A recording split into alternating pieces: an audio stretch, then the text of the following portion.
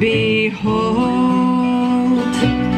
upon my heart your name